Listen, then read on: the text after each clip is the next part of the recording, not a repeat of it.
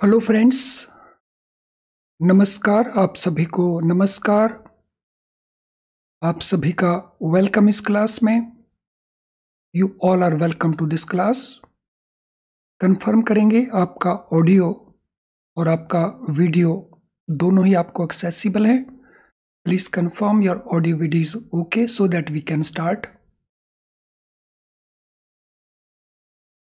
so quickly confirm कर देंगे your audio video is accessible to you it's okay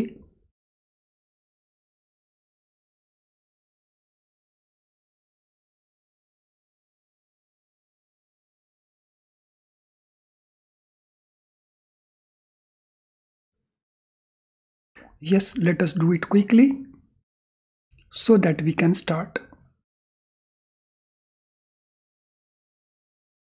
तो जैसा हम देख रहे हैं, आज का हमारा टॉपिक इंडियन इकोनॉमी है। So this is first chapter of module A on Indian economy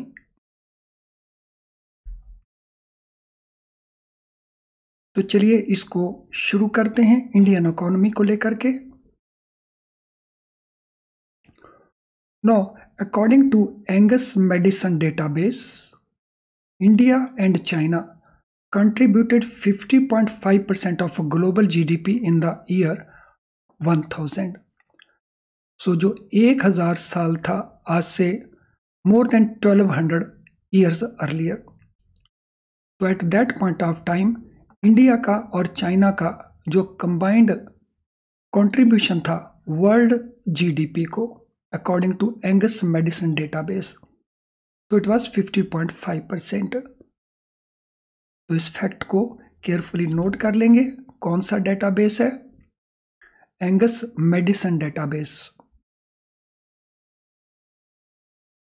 और कौन सा ईयर है? 1000 एडी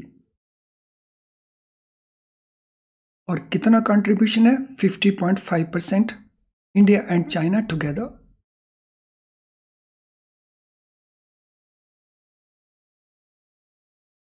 इसके 600 साल बाद in the year 1600 AD so it increased to 52 percent तो ये 52 परसेंट हो गया against 50.5 percent it increase to 52 percent और इसका जो ब्रेकअप है so China 29 percent and India 23 percent global GDP का। सो वी कैन इमेजिन के ये दो कंट्रीज़ का टोटल कंट्रीब्यूशन वर्ल्ड जीडीपी में ग्लोबल जीडीपी में कितना था?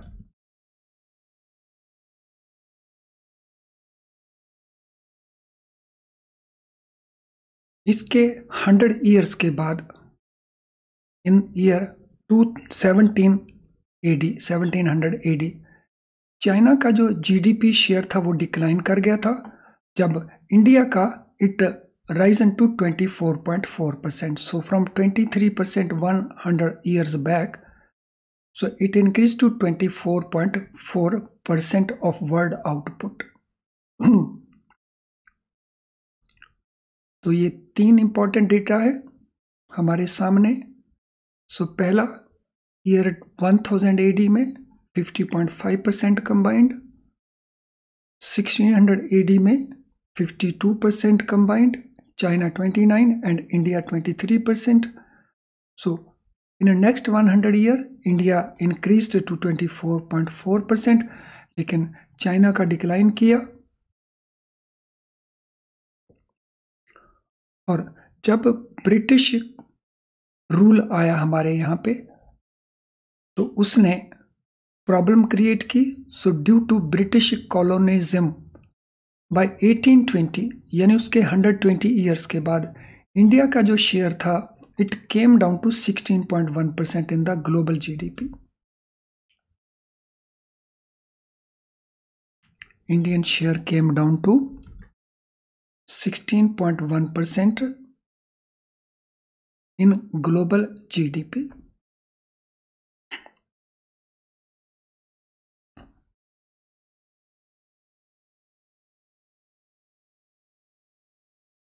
According to international monetary fund IMF जो इंडिया का कंट्रीब्यूशन है ग्लोबल जीडीपी में it is seven point three percent in twenty twenty one तो ये हमारे पास जो लेटेस्ट इंफॉर्मेशन है so that is seven point three percent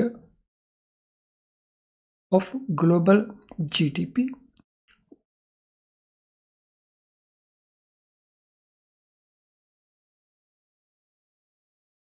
तो ये ब्रीफ हिस्ट्री हुई। क्विकली मैं इसको रिकैप्चुलेट कर रहा हूँ। सो ईयर 1000 के अंदर कंबाइंड था 50.5 1600 ईयर के अंदर ये कंबाइंड हुआ 52 परसेंट जिसमें चाइना 29 और इंडिया 23 17 में China declined, India increase to 24 point. How much? Twenty four 24.4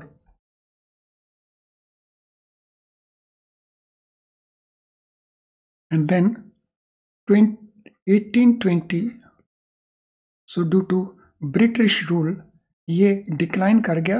16.1 and 2021 according to IMF it is 7.3 percent. तो ये कुछ हिस्टोरिकल डेटा है रिगार्डिंग इंडियन इकोनॉमी इसमें मुझे लगता नहीं कोई ऐसी चीज़ है जो आप अंडरस्टैंड नहीं कर पाए हों। इसके बावजूद भी अगर कोई ऐसी चीज़ है तो you can type your question अगर हम देखते हैं जीडीपी को परचेजिंग पावर पैरिटी के पॉइंट ऑफ़ व्यू से so in terms of GDP purchasing power parity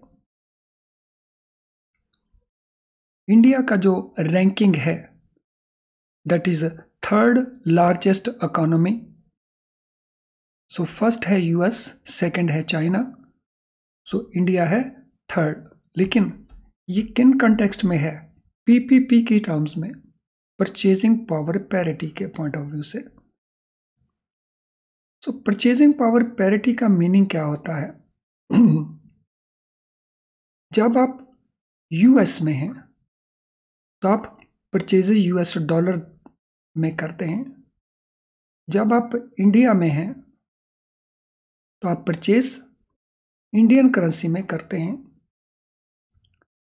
ऐसा पॉसिबल हो सकता है कि यूएस डॉलर की करेंसी पे करके आप एक पर्टिकुलर क्वांटिटी एक पर्टिकुलर जो कमोडिटी है प्रोड्यूस है, उसके हंड्रेड यूनिट्स परचेज कर पा रहे हैं। और उसी प्रोडक्ट की सेम क्वालिटी की जो प्रोडक्ट है इंडिया में आप इंस्टेड ऑफ़ हंड्रेड उसके हंड्रेड सिक्सटी यूनिट्स परचेज कर पा रहे हो। तो if this be the position तो इंडिया की जो करेंसी है, उसकी जो परचेजिंग पावर है, वो ज़्यादा है। तो इसी के बेसिस के ऊपर जब इकोनॉमी का रैंकिंग किया जाता है तो ये बन जाता है परचेजिंग पावर पैरिटी यानी इंडियन रुपी की इंडिया के अंदर परचेजिंग पावर ज़्यादा है compare to US dollar purchasing power in USA I hope this concept of PPP is clear to you तो मुझे ज़रा कंफर्म कर देंगे. This is clear to you अभी तक जो कुछ भी हम डिस्कस कर रहे हैं that is clear to you जो वर्ल्ड बैंक का क्लासिफिकेशन है, वो पीपीपीबी के ऊपर बेस्ड नहीं है. सो वो बेस्ड है on per capita income PCI so world bank classification is based on per capita income per capita income so जब हम पर कैपिटा इनकम की बात करते हैं तो इट मीन्स हमारा जीडीपी ब्रॉडली मैं बोल रहा हूँ डिवाइडेड बाय आवर पॉपुलेशन तो इससे हमें मिल जाता है पर कैपिटा इनकम पीसीआई सो जो वर्ल्ड बैंक क्लासिफाई करता है डिफरेंट कंट्रीज़ को तो उसमें चार अलग अलग क्लासिफिकेशंस हैं। तो उसका बेस है पर कैपिटा इनकम नो चार कैटेगरीज हैं वर्ल्ड बैंक की from PCI point of view PCI के पॉइंट ऑफ़ व्यू से देर आर फोर कैटेगरीज तो ये चार कैटेगरीज कौन कौन सी हैं? So what are these four categories so पहली कैटेगरी है low income countries low income countries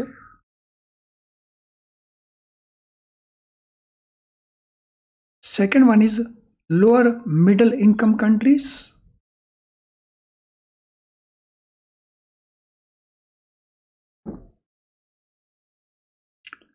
third one is upper middle income countries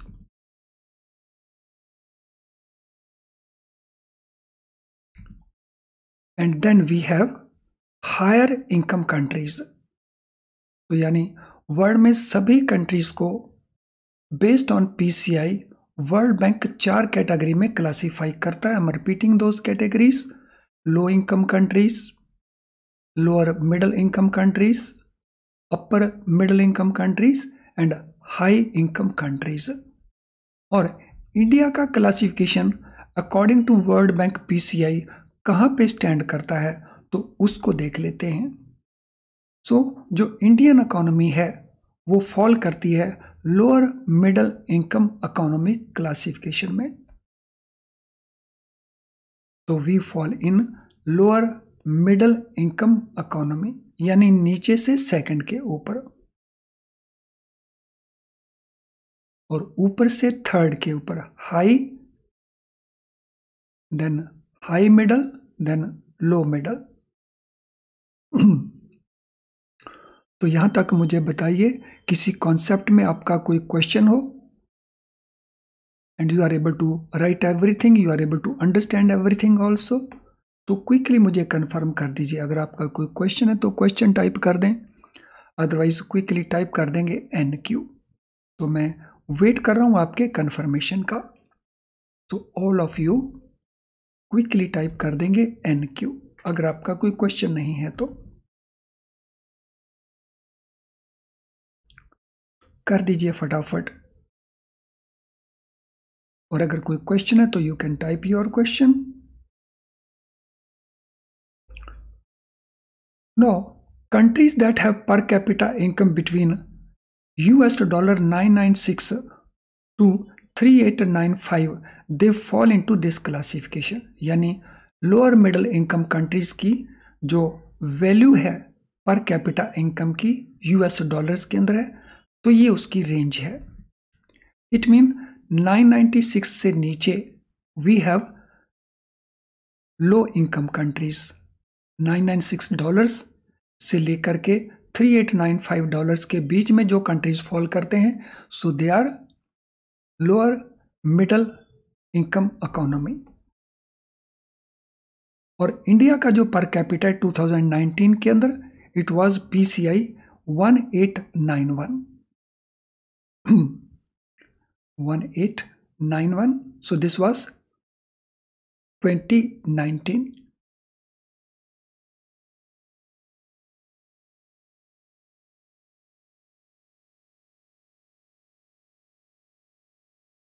Indian economy in terms of PCI is ranked quite low. तो अगर हम इसको देखते हैं PCI point of view से तो हमारी रैंकिंग काफ़ी लो चली जाती है। तो then our ranking is very low तो अगर हम पीपीपी टर्म्स में देखते हैं तो हमारी इकोनॉमी की रैंकिंग नंबर थर्ड के ऊपर आ जाती है। और अगर हम ओवरऑल जीडीपी देखते हैं तो हमारी रैंकिंग नंबर फाइव के ऊपर आती है। और अगर हम पीसीआई पॉइंट ऑफ़ व्यू से देखते हैं, जो वर्ल्ड बैंक का क्राइटेरिया है तो we are at a very low ranking और जो लो पर कैपिटा इनकम है, उसके पीछे रीजंस क्या हैं, वो भी नोट कर लेंगे। So low per per income is mainly mainly to उसके पीछे रीजंस क्या क्या हैं। So high level of poverty हमारे यहाँ जो पॉवर्टी का लेवल है that is very high almost 80 crore people ऐसे हैं जिनको गवर्नमेंट सपोर्ट करती है by providing 5 K G of grains then per capita income is low because of unemployment and general population में जो हमारा इलिटरेसी लेवल है, वो भी हाई है, जिसके कारण हमारी जो स्किल्स हैं they are also quite low so these are the reason behind the low per capita income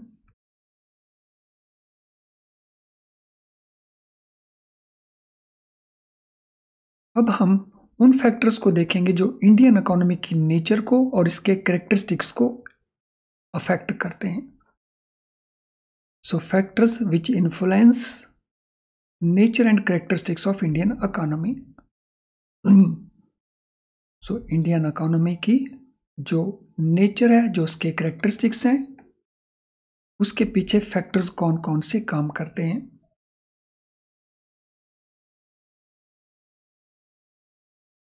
so first is low per capita real income हमारी जो रियल इनकम लो पर कैपिटा टर्म्स के अंदर है तो वो बहुत कम है। तो दिस मीन्स हमारी जो परचेजिंग पावर है पर कैपिटा वो बहुत कम है। हमारी करेंसी की purchasing power within India अच्छी है कंपेयर टू अदर कंट्रीज़ लेकिन जब हम उसको per capita point of view से देखते हैं तो हमारे पास पर कैपिटा लोअर अमाउंट है।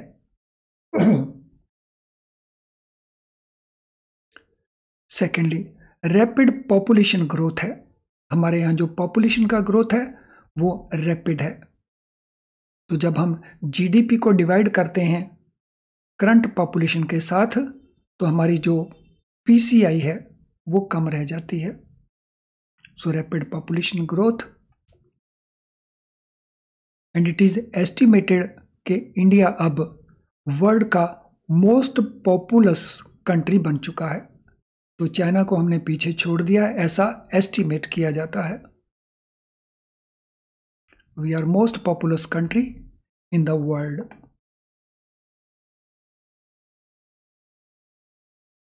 high rate of unemployment under employment and disguised unemployment तो हमारे यहाँ पे ये तीनों ही एग्जिस्ट करते हैं। तो एक तो हमारे रेट ऑफ़ अनएम्प्लॉयमेंट हाई है। जैसे करंट एस्टिमेट्स के मुताबिक it is between eight to nine percent जो फ्रॉम टाइम टू टाइम थोड़ा फ्लक्चुएट होता रहता है। So high rate of unemployment then under employment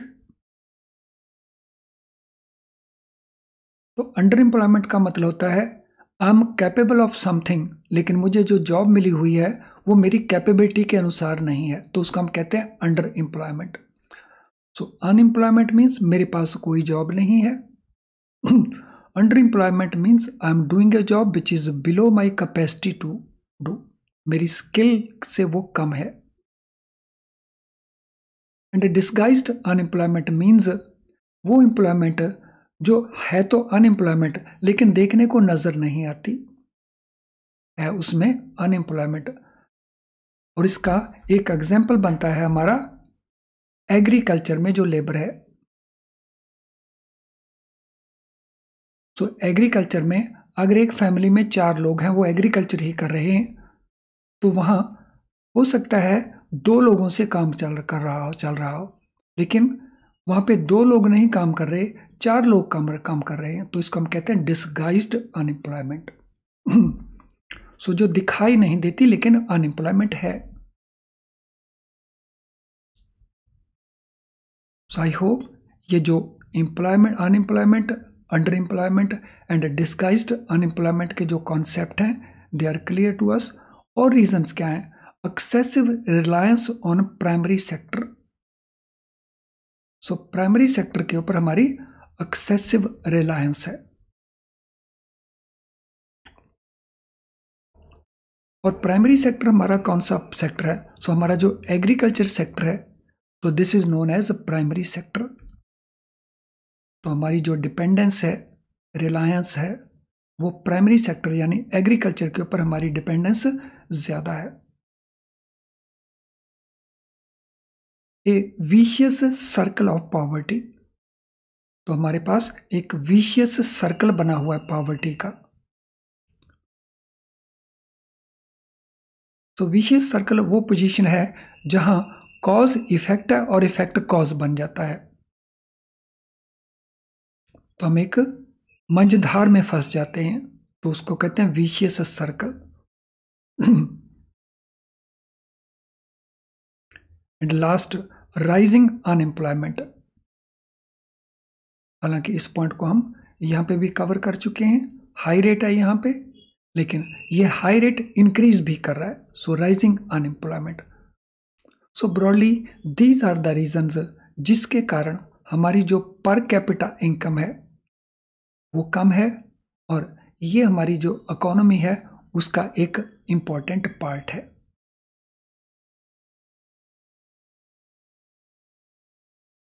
तो अब हम नोट करेंगे इंडियन इकोनॉमी में जो तीन सेक्टर्स हैं।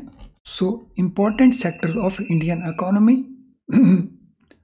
यानी जो टोटल हमारा जीडीपी है, ये जीडीपी हमारा कहाँ से आता है? So it comes from three sectors agriculture से आता है, मैन्युफैक्चरिंग से आता है, सर्विसेज़ सेक्टर से आता है। Agriculture, manufacturing and services.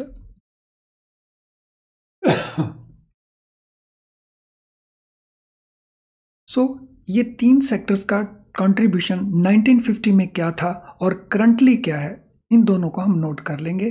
So agriculture था at that time 53.1 percent so जब हम आज़ाद हुए थे, उसके दो साल के बाद 53.1 percent of our P that was agriculture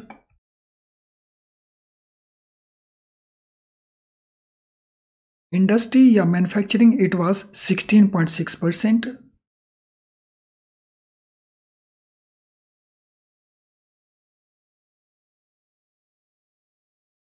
And services it was 30.3 percent. So 53.1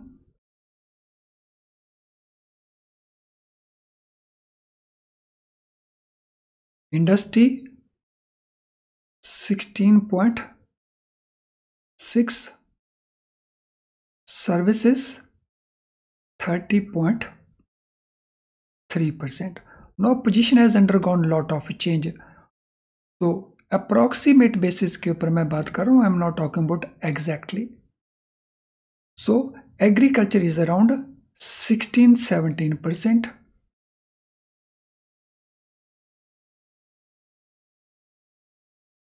Industry is around 25 percent. And services sector is around 59 to 60 percent.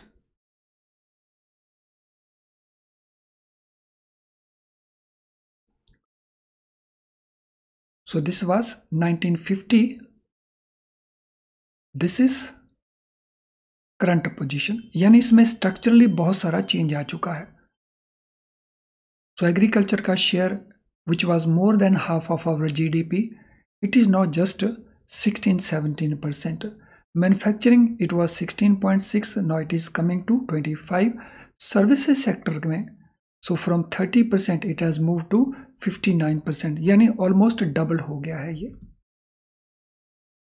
I hope all this data हमने केयरफुली नोट कर लिया है। अब जिन students का like dislike बचा है quickly वो लाइक डिसलाइक को कंप्लीट कर देंगे। सो लाइक डिसलाइक को क्विकली कंप्लीट कर दीजिए। अगर आप इस वीडियो को बाद में वॉच करेंगे तो लाइक डिसलाइक मेरा रिक्वेस्ट है, उसको कंप्लीट कर देना। और अगर आप सब्सिक्वेंटली देख रहे हैं या अभी देख रहे हैं, इसको अगर लाइक करते हैं शेयर करते हैं तो it can help other students also और ऑलरेडी अगर आपने इस चैनल को सब्सक्राइब नहीं किया हुआ है तो सब्सक्राइब ज़रूर करें विद बेल बटन ताकि हमारी सारी नोटिफिकेशंस आपको ऑन टाइम मिलती रहें। और कोई क्लास को आप मिस नहीं करें तो लाइक डिसलाइक जिनका रहता है क्विकली कंप्लीट कर देंगे। डू इट क्विकली तो अब कुछ क्वेश्चंस को आप आंसर करेंगे। So what was contribution of India and China to global GDP in year 1000 according to Angus Maddison database तो question number one what will be the answer so question number one के लिए क्या answer बनेगा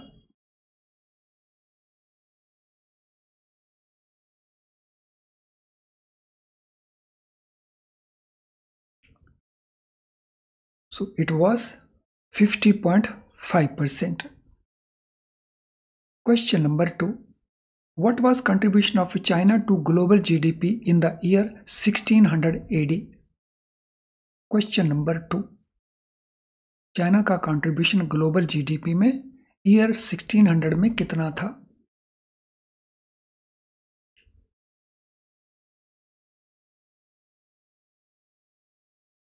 so it was 29%. What was contribution of India to global GDP in the year 1700 AD? India का contribution global GDP में year 1700 AD में so it was 24.4 percent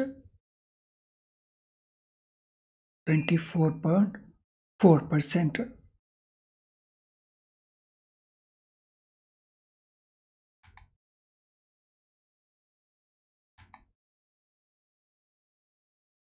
How was India's contribution to global GDP affected by British colonialism?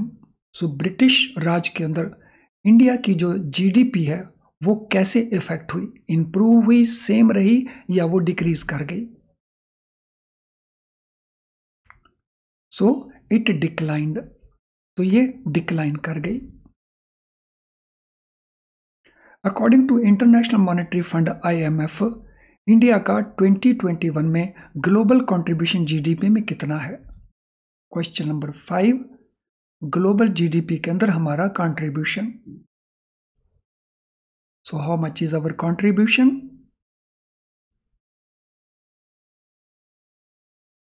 so this contribution was 7.3 percent question number six what is India ranking in terms of G D P purchasing power parity according to IMF IMF के मुताबिक, हमारी purchasing power power parity के अनुसार हमारी economy की ranking क्या है? So this ranking is third according to world bank classification based on per capita income which category does India fall under तो इंडिया किस कैटेगरी में फॉल करता है? Question number seven